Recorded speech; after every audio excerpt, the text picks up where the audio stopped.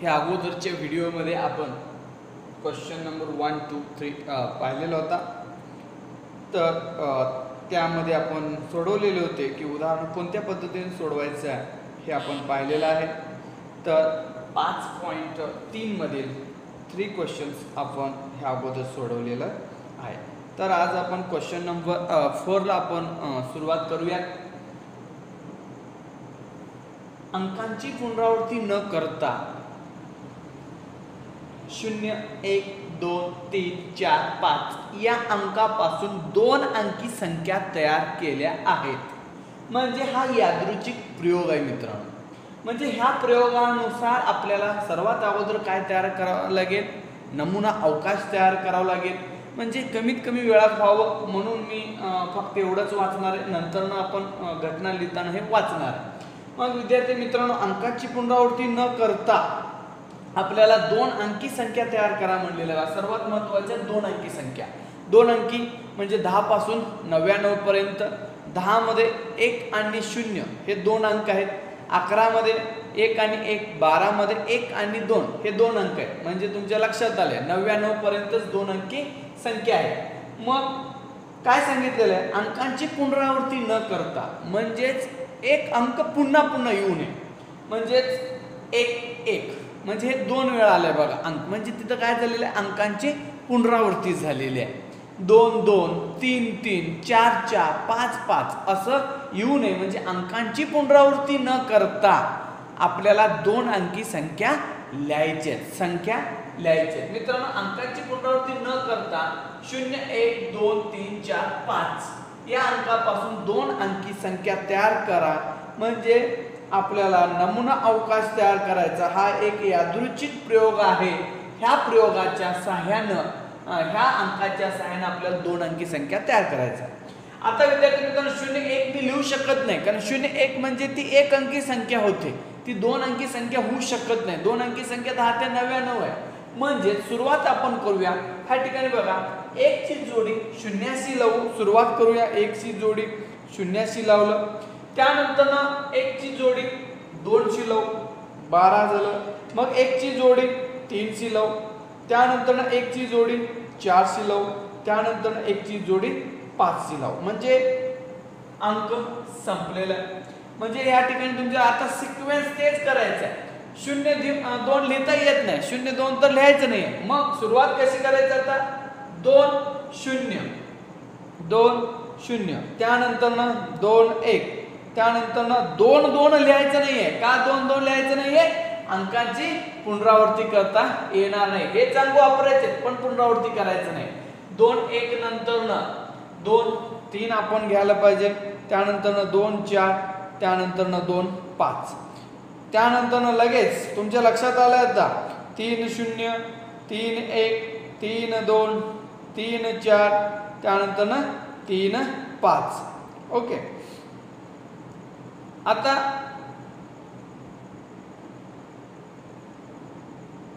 आपण तीन घेतलेलं आहे. आता तीन नंतर आपण काय घ्यायला पाहिजे आता? तीन नंतर आपण चार घ्यायला पाहिजे बघा मित्रांनो. चारची आता जोडी प्रत्येकाशी लावली पाहिजे. लावूया आता. चार शून्य करेक्ट तुम्ही माझ्या बरोबर म्हणायचंच आहे. चार एक त्यानंतर चार दोन त्यानंतर चार तीन त्यानंतर ना चार पाच. लगेच आता तुमच्या लक्षात आला असेल चार पाच नंतर काय होणार आहे? करेक्ट पाच शून्य पाच शून्य नंतर पाच एक नंतर पाच दोन नंतर पाच तीन नंतर पाच चार. पाच पाच मात्र लिहिणार नाहीये आपण. ओके म्हणजे आपण ह्याच ठिकाणी संख्या लिहिलेल्या आहेत. ओके एक शून्यापासून सुरुवात केलेले सिक्वेन्स आता तुमच्या लक्षात आलेले आहेत. तर तुमच्या लक्षात इथं येते का बघा की प्रत्येकाचे पाच संख्या तयार झालेत. एक दोन तीन चार पाच. प्रत्येकाचं बघितलं एक दोन तीन चार पाच. म्हणजेच एकूण संख्या किती असणार आहे? एक दोन तीन चार पाच सहा सात आठ नऊ दहा अकरा बारा तेरा चौदा पंधरा सोळा सतरा अठरा एकोणीस वीस एकवीस बावीस तेवीस चोवीस पंचवीस. म्हणून एन एस बरोबर आपण लिहायला पाहिजे पंचवीस लिहायला पाहिजे. मग आपण पुढच्या स्टेपला जाऊया. घटना लिहिणार आहेत आपण. आपण तीन उदाहरणं अगोदर सोडवलेलं आहे याबद्दल बरीचशी माहिती तुम्हाला आहे आता. मग घटना ए ही तयार झालेली संख्या समसंख्या असणी आहे. म्हणजे समसंख्या कोणते हे आपण पाहिलेलं आहे. दोन चार सहा आठ दहा बारा ह्या समसंख्या आहेत. पण हे समसंख्या कुठून लिहिलं पाहिजे आपण? नमुना अवकाशातूनच लिहायला पाहिजे. कारण हे सगळे घटना हे नमुना अवकाशाचे काय असणार आहेत? उपसंच असणार आहेत. मग ए मध्ये ए मध्ये कोणकोणते येणार आहेत बाबा? समसंख्या. मग आपण ह्या ठिकाणाहून सुरुवात करूयात. पहिली समसंख्या असणार आहे दहा. दहा नंतर बारा करेक्ट दहा नंतर बारा बारा नंतर असणार आहे मित्रांनो चौदा. चौदा नंतर असेल करेक्ट वीस. वीस नंतर असणार आहे चोवीस. ओके. चोवीस नंतर आपल्याला मिळणार आहे तीस. तीस नंतर आपल्याला मिळणार आहे मित्रांनो बघा करेक्ट बत्तीस बत्तीस नंतर चौतीस चौतीस नंतर चाळीस. ओके चौतीस नंतर चाळीस. चाळीस नंतर नक्कीच बेचाळीस मिळेल. बेचाळीस नंतर पन्नास मिळेल. पन्नास नंतरनं बावन्न मिळेल. बावन्न नंतरनं आपल्याला मिळणार आहे चोपन्न.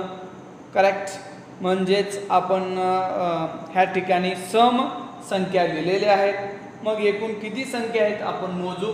एक दोन तीन चार पाच सहा सात आठ नऊ दहा अकरा बारा तेरा. म्हणून एन ए बरोबर आपण राईट डाऊन करूयात. एन ए बरोबर तेरा. ओके. विद्यार्थी मित्रांनो घटना बी पाहूया आपण. घटना बी ही तयार झालेली संख्या तीनने भाग जाणारी आसने अशी आहे. ओके. मग तीन भाग कोणाला जाते बाबा? तर आपल्याला तीनची कसोटी माहीत पाहिजे. अंकांच्या बेरजेला जर तीनने भाग जात असेल तर त्या संख्येला तीनने भाग जातो. ओके. मग अंकांच्या बेरजेला तीनने भाग जातो म्हणल्यावर आता या ठिकाणी जर बघितला एक आणि शून्य ह्या दोन अंकांची बेरीज एक येते. ते तीन भाग जाणारे नाहीये. तीन भाग जाणारे म्हणजे तीनच्या पाड्यात असेल तर त्याला तीन भाग जात असतो. मग एक आणि दोन ह्या दोघांची बेरीज. नक्कीच तीन येते म्हणजे ह्याला तीन भाग जातं. म्हणजे आपल्या आपल्याला या ठिकाणी पहिली संख्या मिळते बघा. बारा ही संख्या मिळते मित्रांनो आपल्याला. ओके. त्यानंतर ना बारा नंतर पंधरा मिळणार आहे. कारण ह्यांची बेरीज चार येईल याची बेरीज पाच येईल याची बेरीज किती येणार आहे? सहा येणार आहे. म्हणजे पुढचा अंक नक्कीच काय असणार आहे? पंधरा. पंधरा नंतर पुढचा अंक ह्याची बेरीज दोन ह्याची बेरीज तीन येते बघा. म्हणून एकवीस. कारण तीनला तीन भाग जातोच.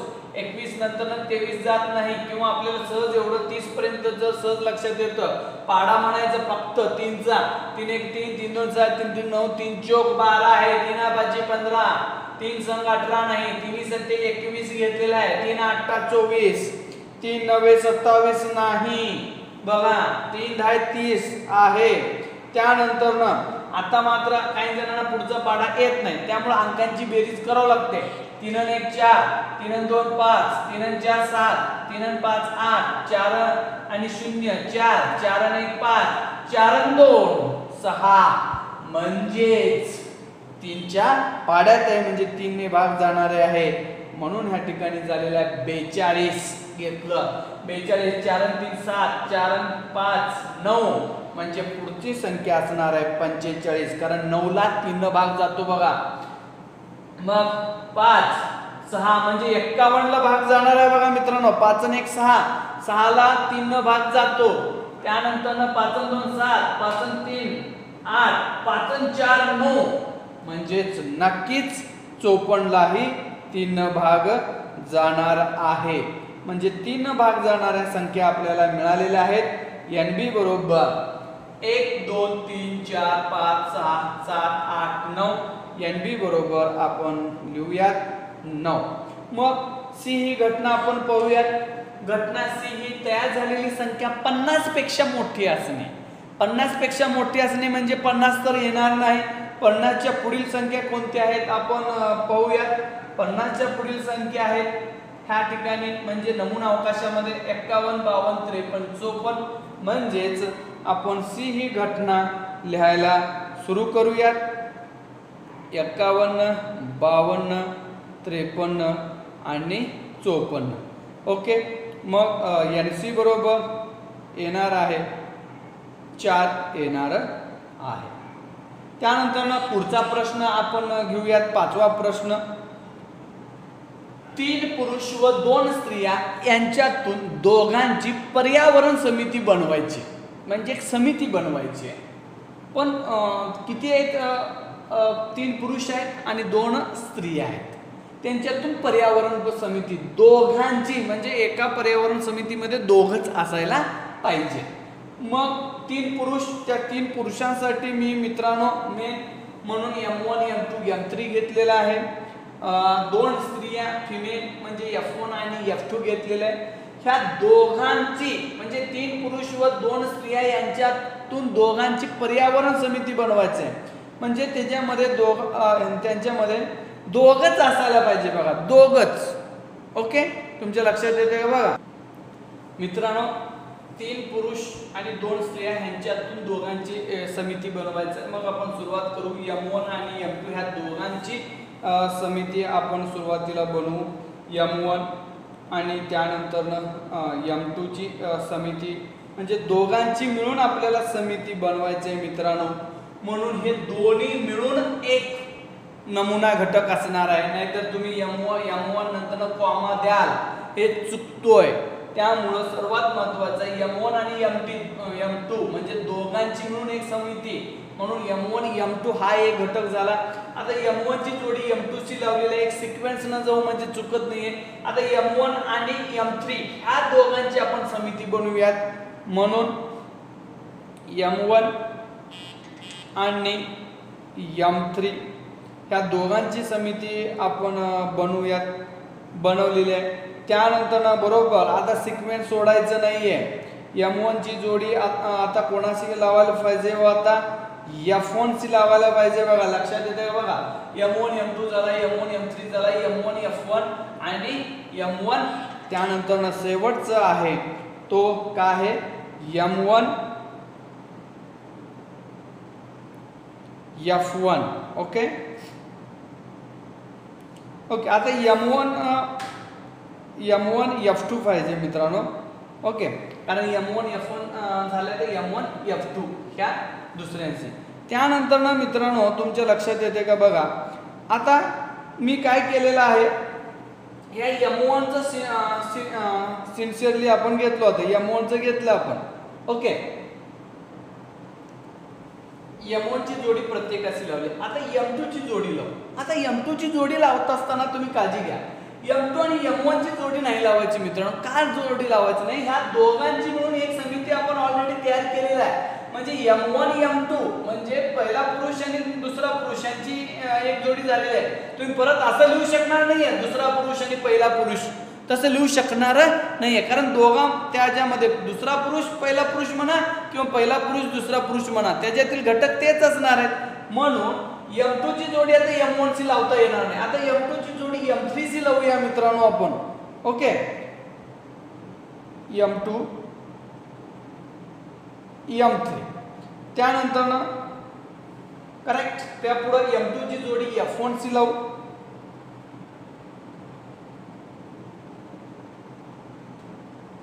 एफ वन सी लावलं. त्यानंतर नक्कीच एम टू ची जोडी कोणाला लावायला पाहिजे? बरोबर? एफ टू सी लावलेला आहे. ओके आता सर्वात महत्वाचं काय बघा? एम टू ची जोडी लावली. आता एम थ्री आहे. आता एम थ्री ची जोडी तुम्ही एम वन ची लावू शकत नाही. आता का लावू शकत नाही? तुमच्या लक्षात आलेलं आहे. कारण एम वन एम थ्री ह्या दोघांना मिळून मी एक समिती ऑलरेडी बनवलेली आहे. कोणती? एम वन आणि एम थ्री म्हणून आता यंत्रीची जोडी ह्या दोघांची लावायची गरज नाही कारण ह्या दोघांना मिळून एक समिती बनलेली आहे ह्या दोघांची मिळून एक समिती बनलेली आहे. म्हणजे आता फक्त आपल्याला पुढं जायचं आहे आता कोणाची जोडी लावायची? M three. अजून कोणाची हो? करेक्ट एफ ची जोडी लावायची. त्यानंतर नक्कीच आता पुढं परत यम थ्री. आणि कोणाची जोडी लावायची? एफ टूची जोडी लावायची. करेक्ट एकदम करेक्ट त्यानंतर ना आता तुमच्या लक्षात आलेलं आहे. ओके आता एम थ्री झालं तर एफ वन एफ वन घेऊ. आता एफ वन ची जोडी एम वन ची लावायची नाही कारण त्या दोघांची मोठी समिती झालेली आहे. एम वन एफ वन आणि एम एफ टू ची. एम टू ची एक जोडी आपण एम वन एफ वन झालेला आहे बघा मित्रांनो. त्यानंतर एम टू एफ वन झालेला आहे. आता एम थ्री एफ वन ही झालेला आहे. म्हणजे आता मागं जायचंच नाही पुढं जायचं. एफ वन आणि एफ टू म्हणून ह्या ठिकाणी एफ वन आणि एफ टू ह्या दोघांची काय होणार आहे? एक समिती बनणार आहे. ओके. त्यानंतर तुम्ही म्हणाल एफ वा एफ टू ची जोडी कोणाशी तर लावा कसं लावणार आहे? ह्याच्या पुढं आहे का? नाही. म्हणजेच ह्या ठिकाणी एक गोष्ट तुमच्या लक्षात आली पाहिजे की आपण समिती कशी लिहिणार आहोत? आता तुम्ही म्हणत असाल सर तुम्ही इथं माग पुढं गेलात मागच्याची जोडी का लावली हे तुमच्या लक्षात आलं. पण तुम्हाला असं वाटत असेल की ज्यावेळी अंक लिहित होतो त्यावेळी आपण जात होतो मागं जात होतो.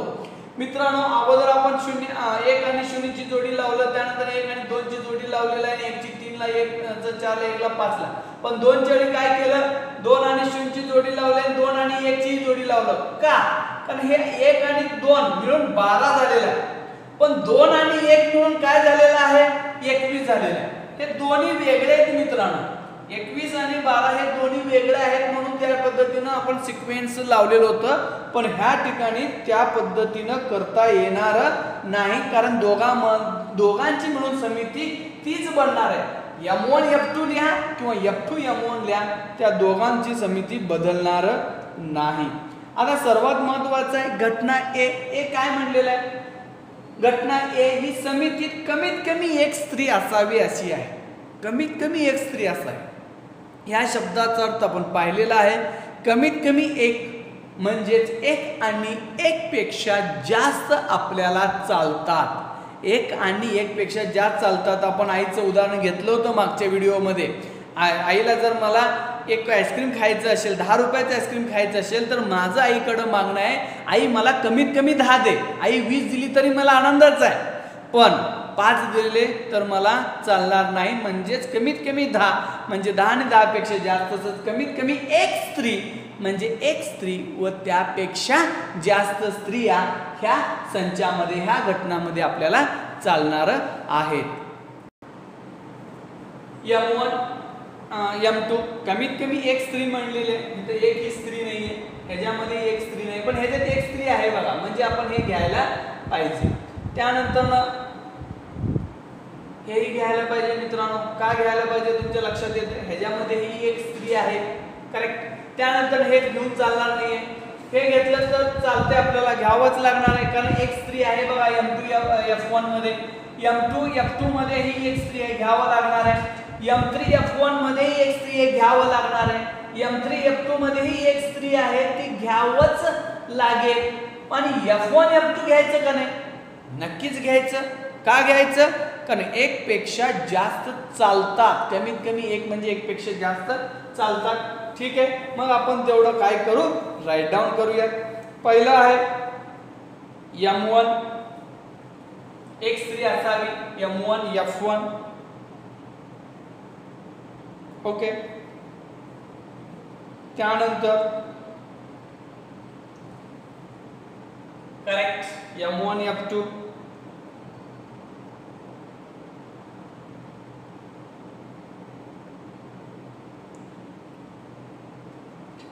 correct. त्यानंतर ह्याच्यामध्ये एक स्त्री ह्याच्यामध्ये एक स्त्री आहे ह्याच्यामध्ये स्त्री नाही आहे ह्याच्यामध्ये स्त्री आहे. एम टू एफ वन मित्रांनो.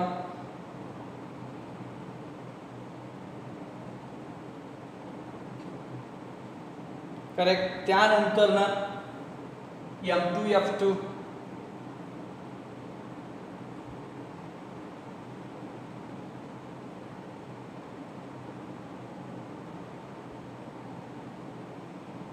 तुमच्या लक्षात आलेलं आहे. तुम्हीही माझ्याबरोबर बडबडायचं आहे मित्रांनो.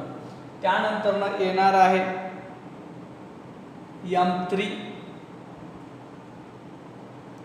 F one correct कारण एक स्त्री आहे ह्यामध्ये. मला कमीत कमी एक स्त्री म्हणजे एक स्त्री आणि एक स्त्रीपेक्षा जास्त.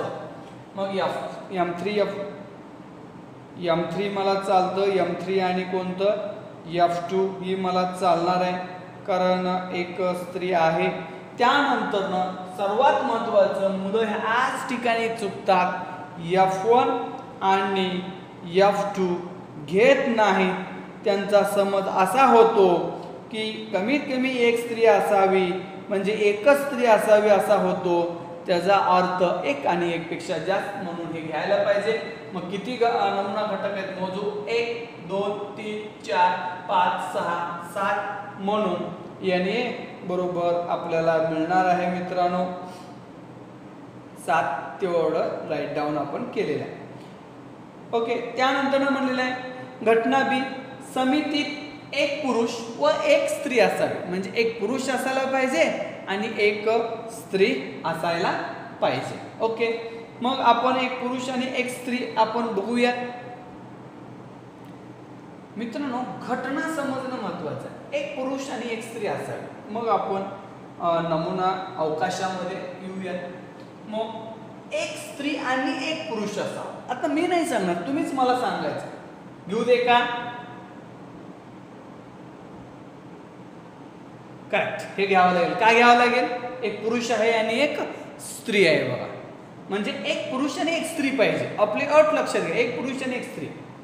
ओके? त्यानंतर ना करेक्ट एक पुरुष आणि एक स्त्री. दोन्ही पुरुष आहेत. एक पुरुष आणि एक स्त्री. एक पुरुष आणि एक स्त्री. एक पुरुष आणि एक स्त्री. एक पुरुष आणि एक स्त्री. हे चालणार नाही कारण दोन्ही स्त्री आहेत. म्हणजे एक पुरुष आणि एक स्त्री असतील ते आपल्याला ह्या ठिकाणी लिहावं लागेल. ओके? आता मित्रांनो काही जणांना असं बी जंबल होत असतं.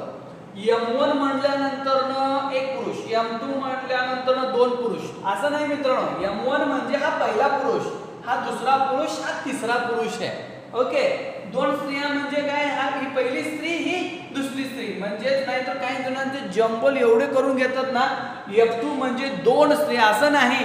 ही पहिली स्त्री आहे म्हणून हिला एफ वन म्हणलेला आहे. ही दुसरी स्त्री आहे म्हणून हिला काय म्हणलेलं आहे? एफ टू म्हणलेलं आहे. पहिला पुरुष म्हणून एम वन हा दुसरा पुरुष म्हणून त्याला एम टू हा तिसरा पुरुष म्हणजे एम थ्री किंवा एम थ्री म्हणजे तीन पुरुष नाही. तिसरा पुरुष आहे हो. ठीक आहे? नाहीतर काही जणांचं असेही जंबल होतात. म्हणून मी त्या ठिकाणी एक्सप्लेन केलेला आहे. ठीक आहे? लिहायला सुरुवात करूया. एक पुरुष आणि एक स्त्री okay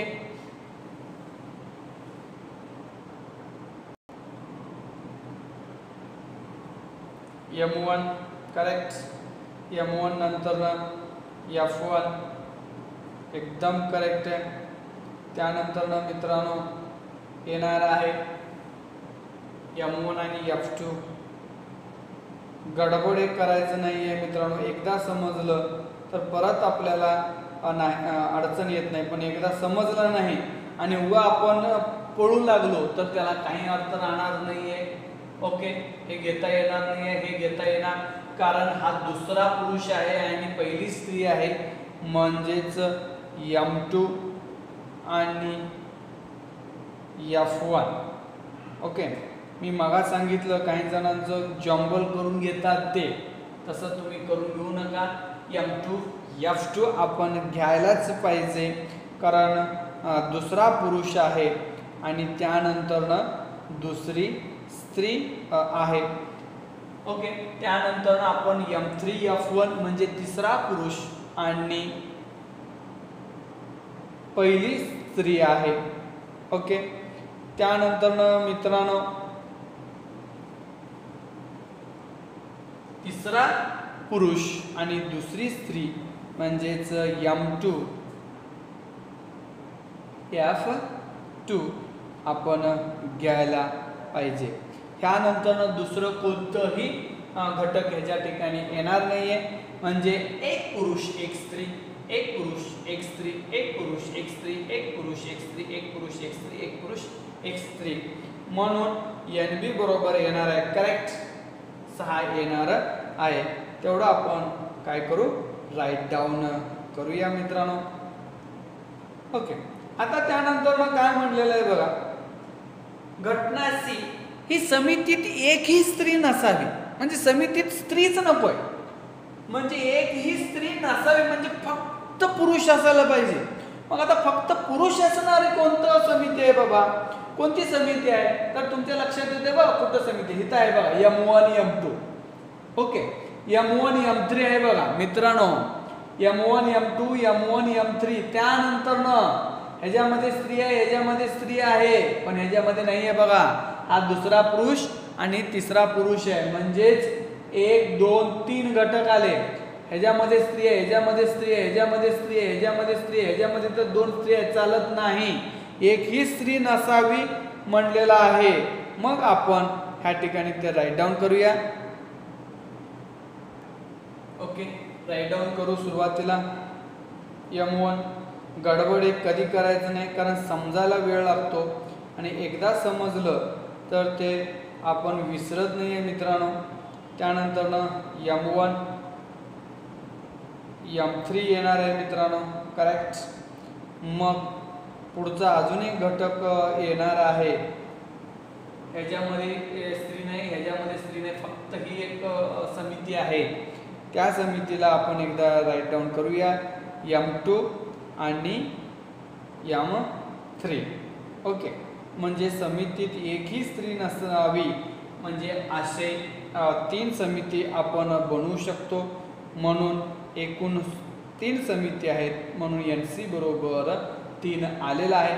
खूप सोपं आहे. सगळ्या गोष्टी आपण चर्चा केलेल्या आहे तीन पुरुषांना आपण नावं दिलेले आहे पहिल्या पुरुषाला यम वन म्हणलेलं आहे दुसऱ्या पुरुषाला यम टू म्हणलेलं आहे तिसऱ्या पुरुषाला यम थ्री म्हणलेलं आहे. पहिल्या स्त्रीला एफ वन म्हणलेलं आहे दुसऱ्या स्त्रीला एफ टू म्हणलेलं आहे. आणि हे व्यवस्थित तुम्ही लक्ष द्या आणि राईट डाऊन करून घ्या. ओके मित्रांनो एक नाणे व एक फासा एकाच वेळी फेकले म्हणजे आता तुमच्या लक्षात येतंय बघा हे नमुना अवकाशामध्ये आता काय येणार आहे आपलं? एक नाणे व एक फासा एकाच वेळ फेकलेला आहे. आता नाण्याच्या दोन निष्पत्ती आपल्याला माहीत आहे. म्हणजे नाणेवर जास्तीत जास्त काय पडू शकतो? आपल्याला माहीत आहे. एक तर हेड पडू शकतो नाहीतर काय पडू शकतो? टेल पडू शकतो छापा पडू शकतो किंवा काटा पडू शकतो? छापाला आपण एच म्हणणार आहे आणि काटाला टी म्हणत असतो.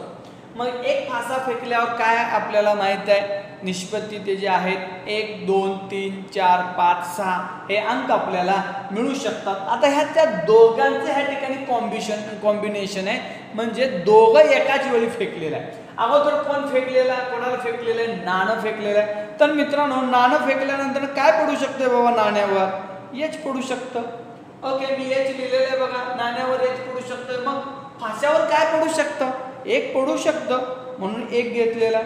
ओके त्यानंतर ना मित्रांनो पहिल्या ना नाणं यच पडू शकतं ना परत. म्हणजेच नाण्यावर यच आणि फाशावर दोन पडू शकतं. त्यानंतर अजून मी त्याच पोझिशननं जाणार आहे यच. आणि त्यानंतर काय पडू शकतं? तीन पडू शकतं. त्यानंतर परत यच पडू शकतं. ओके आणि त्यानंतर काय पडू शकतं? चार पडू शकतं मित्रांनो. ठीक आहे? चार लिहिलेलं आहे. ओके तुमच्या लक्षात आलेलं आहे आता. हे काय आहे? ओके मग पुढचं कोणतं असेल? नमुना घटक याच करेक्ट एच नंतरनं पाच असेल करेक्ट त्यानंतरनं याच आणि त्यानंतरनं किती असणार आहे? सहा. आता गडबडीमध्ये याच आणि सात लिहू नका. कारण एका पाशावर जास्तीत जास्त अंक किती असणार आहेत? सात असणार आहेत. एक दोन तीन चार पाच सहा. ओके. मग नाण्यावर एच पडलेला आहे आणि सहापर्यंत अंक घेतलेला आहे. आता नाण्यावर एच पडल्यानंतर आता काय पडू शकतं? करेक्ट तुम्ही आता समजून घेतलंय काय येणार आहे ह्या ठिकाणी. टी पडू शकतं आणि एक घेऊ शकतो आपण. त्यानंतरनं काय? टी पडू शकतं. त्यानंतरनं काय पडू शकतं? दोन पडू शकतं. त्यानंतरनं काय पडू शकतं? टी पडू शकतं. त्यानंतरनं ती तीन पडू शकतं. त्यानंतर इकडं टी पडणार आहे. आणि ह्या ठिकाणी चार पडणार आहे मित्रांनो. त्यानंतरनं इथं टी पडणार आहे. त्यानंतरनं पाच पडणार आहे. करेक्ट शेवटचा टी आणि सहा. तुमच्या लक्षात आला असेल? ओके. तर एकूण नमुना घटक किती आहेत बघा? एक दोन तीन चार पाच सहा सात आठ नऊ दहा अकरा बारा. जे सात ते जे सात. मी मुद्दाम मोजून दाखवतो. म्हणजे कन्फ्युजन तुमचं होऊ नये म्हणून. ओके त्यानंतर ना घटना एक काय आहे? छापा आणि विषम संख्या मिळणे अशी. छापा म्हणजेच यच.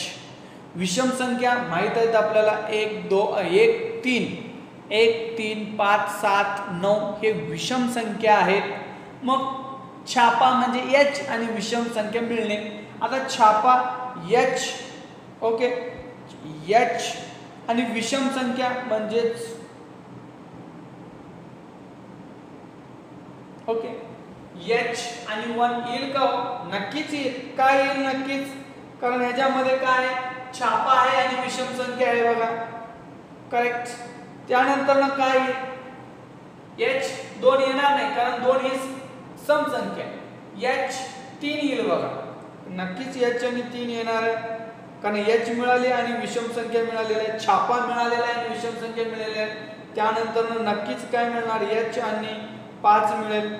त्यानंतर अजून कोणतं मिळणार आहे का? नाही मिळणार. कारण हे टी कडे मी जाणारच नाही. टी म्हणजे काटा आहे. मला काय म्हणलेलं आहे? छापा आणि विषम संख्या मिळणे असं म्हणलेलं आहे. छापा म्हणजे एच विषम संख्या म्हणजे एक तीन पाच सात. ओके. म्हणजे ह्या तीनच घटना ह्या तीनच नमुना घटक ह्या ठिकाणी येणार आहेत. म्हणून एन ए ची किंमत तीन येणार आहे. त्यानंतर पुढं काय सांगितलेलं आहे बघा घटना बी ही एच किंवा ओके इथं आता होतं त्याला मी टी करून घेतलं मित्रांनो. घटना बी ही एच किंवा टी आणि समसंख्या मिळणे अशी आहे. एच आणि टी दोन्ही एच किंवा टी म्हणजे एच बी चालतं आणि टी चालतं. आणि समसंख्या पाहिजे. आता मी सांगायची आता तुम्हाला गरज नाही. कारण आता तुम्हाला समजलेलं आहे. एच करेक्ट समसंख्या कोणत्या आहेत दोन चार सहा आठ. मग एच आणि दोन. पुढं. एच आणि पुढचं हां बरोबर आहे. तुम्ही बोलायला लागला एकदम करेक्ट चार. त्यानंतर एच त्यानंतर काय येणार आहे? सहा येणार आहे बघा मित्रांनो. ओके आता त्यानंतर जर बघितलं मित्रांनो तर याची घ्यायचं का हो? याची घ्यायचंच नाही कारण याच्या पुढं असणारच नाही आता कोणाकडे जायचं आपण? टीकडे जायचं. टीकडे जाताना कोणाला घ्यायला पाहिजे आपण सुरुवातीला? टी आणि दोन. करेक्ट त्यानंतर न टी आणि चार. करेक्ट टी आणि सहा. शेवटचा मिळालेला आहे. कोणाला काय अडचण आहे का बघा? नक्कीच अडचण असणार नाही आहे तुम्हाला. कारण तुमच्या लक्षात आलेलं आहे. मग किती नमुना घटक आहेत? एक दोन तीन चार पाच सहा. म्हणून एन बी बरोबर सहा लिहू. आता पुढचा घटना खूप इंटरेस्टिंग आहे मित्रांनो. खूप इंटरेस्टिंग आहे. ओके घटना सी ही फाशावरील संख्या सात पेक्षा मोठी. फाशावरील संख्या सातपेक्षा मोठी आणि नाणावर काटा मिळणे अशी आहे. सातपेक्षा मोठी. आता मला सांगा फाशावर सातपेक्षा मोठी असू शकणार आहे का? म्हणजेच ह्या ठिकाणी एकही नमुना घटक मिळणार नाही. म्हणून हे असंच लिहायचं. कसं?